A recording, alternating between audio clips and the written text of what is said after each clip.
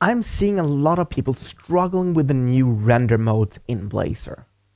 It is mostly pre-rendering that trips developers up. This is because more and more people are looking at Blazor, and with .NET 8, we got a new web app template, and it has pre-rendering enabled by default. So what's the main issue? Well, the main issue is that the content loads twice. So in this video, we are going to take a look at how we can fix that.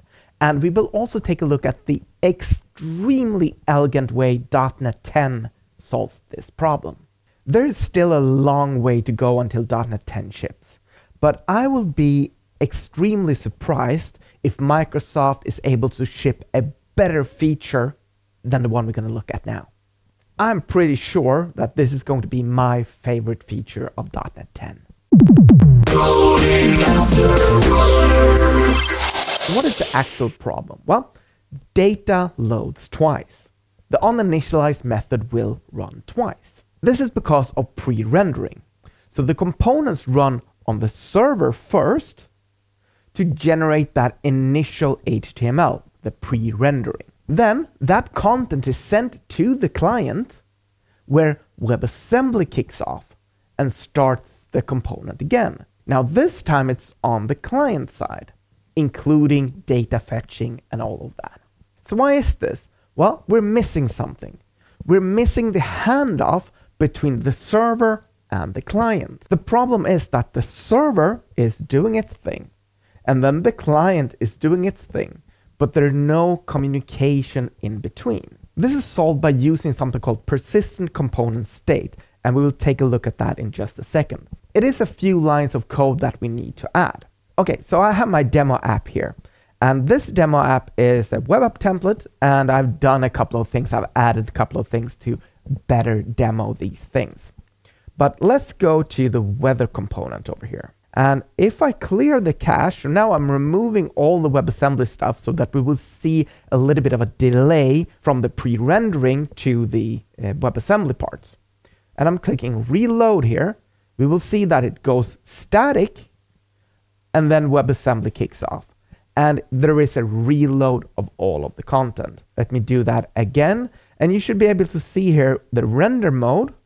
And if I reload, we now have static pre-rendered content switching over and we're reloading all the data.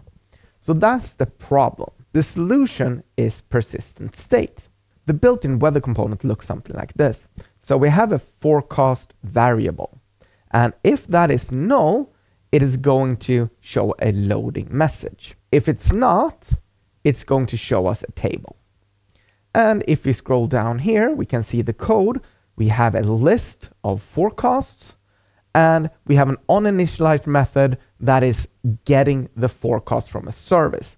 This is not the default behavior. The default behavior is actually generating the code right here or the data right here. But I've removed that so we only generate data in one place. And this is probably more like a real world scenario. You got a service, we're getting data, and we're setting that forecast variable. So this code has that problem. It's going to load once pre-rendered and once WebAssembly. This also goes for if you're using Blazor server or the SignalR implementation, it's going to be the same way. We're first going to get the pre-rendered one, and as soon as SignalR kicks in, we're going to get that reload there as well.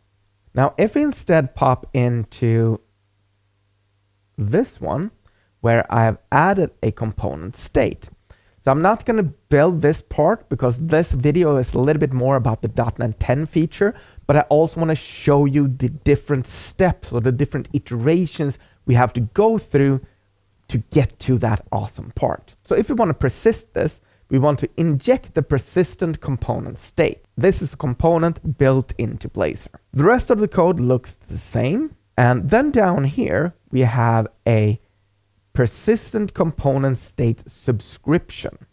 And we also have a name. This is an arbitrary name. I just want a name for the saved content. And then we are setting up a subscription. So we're saying that register on persisting. So when this persisting component state subscription thinks that, okay, it's time to persist the data, we're going to run the persist data method. And then we're saying state try take from JSON. So we're going to try to get a JSON back from the current state. And if that fails, well, then we're just going to go forecast equals load data sync. So we're going to load that data. If we do get some data back, we're just going to say, okay, the data I got back, I'm going to set that into the forecast variable, and we're going to be good to go. Then if we go down here, we have the persist data method, and then we have state.persist as JSON, the name, and what we want to persist connected to that name. We also need to dispose the persisting subscription. Awesome. So this is the code that we have to write to get that persisting state working. So what I did was I thought, you know what? There should be a better way. So I came up with this state manager. So this is a component inside of my project here. What I'm doing is that I'm saying get state. So what do I need to get the state? What, I, what function do I need to run? Well, it's the service get forecast async and the key weather data. I don't have to add anything else to this project, just the state manager. The state manager is taking all of that stuff and encapsulating that into that component. Then down here, instead of using forecast, the variable, I'm using context. So the state manager is providing me with all of this goodness. And if you scroll down here, we don't have a line of code here at all because the state manager is handling all of that. I thought that this was kind of a nice way to, to handle the state. Then Microsoft came around and said, hey, hold my beer. We can do this better. And they absolutely did. Before we go into that, let me just quickly show you the component, the state manager here.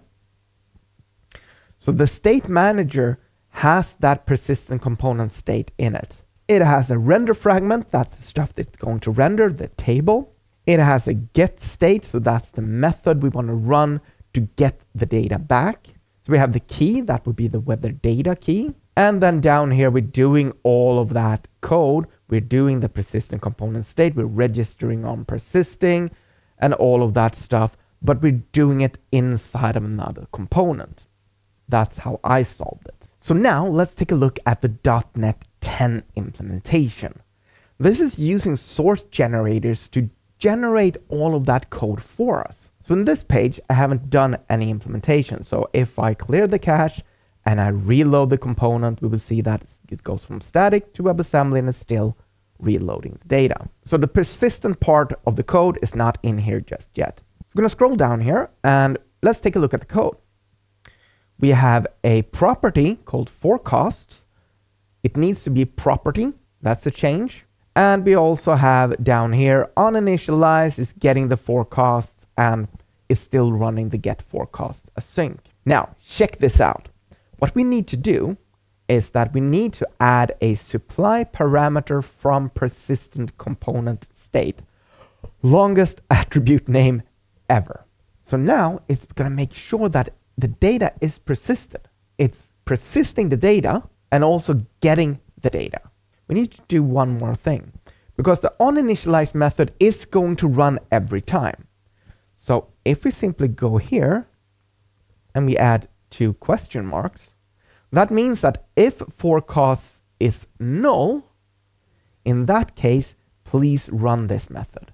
If it's not null, which is the case when it's getting the persisted data, then do nothing. So if we save this and run the project again, and if you pop into our page here, let's go clear the cache again. I'm going to reload the page, static, WebAssembly. And the only thing we did was we added two question marks and that attribute. Let's take a look at the code once more. We added supply parameter from persistent component state to a property and also said, well, only do this code, only reload the data if the forecast variable is null. I think that this is such an amazing feature. And I think this is going to be my favorite .NET 10 feature. So what do you think? Is this an improvement? Do you like it? Write in the comments below.